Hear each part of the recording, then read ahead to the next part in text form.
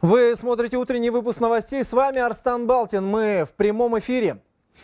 Арестован бывший заместитель директора Национального музея Алмаз Нурасхан. Его задержали в рамках расследования в отношении директора Нацмузея Республики Арстанбека Мухаммеди Улы.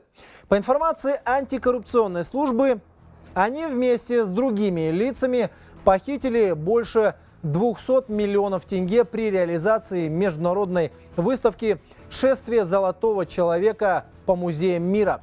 Санкции специализированного межрайонного следственного суда Астаны Алмаза Нурасхана арестовали на два месяца. Расследование продолжается. Другая информация в интересах следствия пока не разглашается.